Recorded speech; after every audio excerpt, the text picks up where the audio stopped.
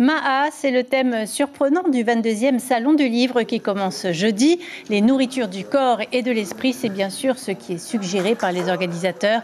Une dizaine d'auteurs océaniens seront présents ainsi que des chefs cuisiniers.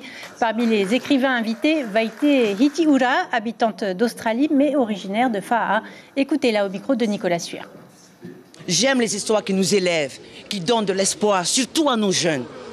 Je sais qu'il faut aussi écrire les, les histoires Hariri, je sais, il y en a, y en a des histoires Mais moi, j'ai choisi d'écrire des histoires qui élèvent. Là, je travaille sur mon quatrième livre, je ne vais pas dire le titre, mais j'ai dû interviewer beaucoup ma maman, qui, elle, c'est bien raconté, parce que son histoire à elle, c'est une histoire qui est... Alors là, attends que tu vas voir, que tu vas lire. C'est une histoire d'espoir, c'est une histoire de lutte pour sa terre qu'on a volée et qu'elle a reconquise.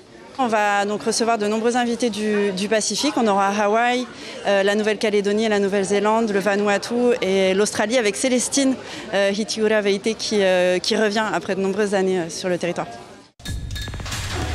L'information, on continue sur Polynésie la première, Internet et réseaux sociaux.